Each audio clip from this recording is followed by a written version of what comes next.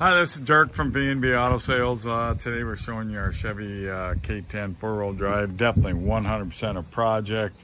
Uh, looks like they put some different um, body panels off a blue pickup on it. Um, obviously was a very rusty truck if you look at the box. But the cab isn't too bad. Cab corners and rockers. The floor is pretty good in it.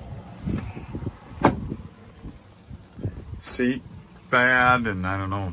They took that on blue pickup too, I believe. Originally a tan dash, I would assume, where they put a tan dash into it. Missing the glass because they put some different gauges.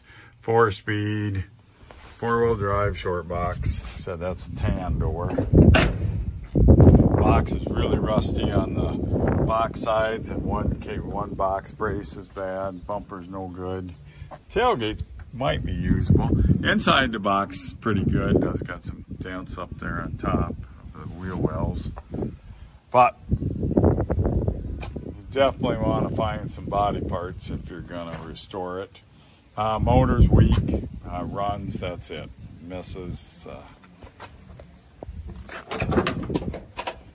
I'll give you a running video of it here